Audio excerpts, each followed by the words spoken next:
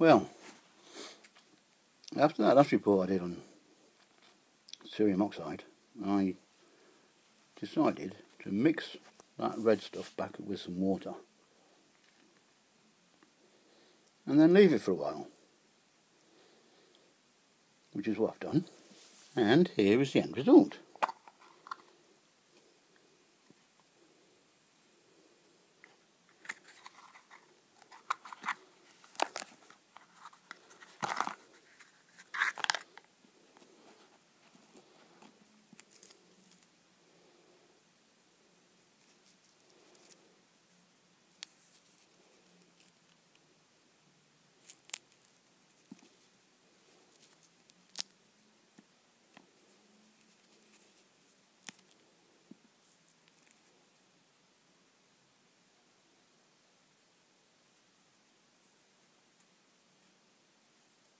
I will not be using this, that's for sure.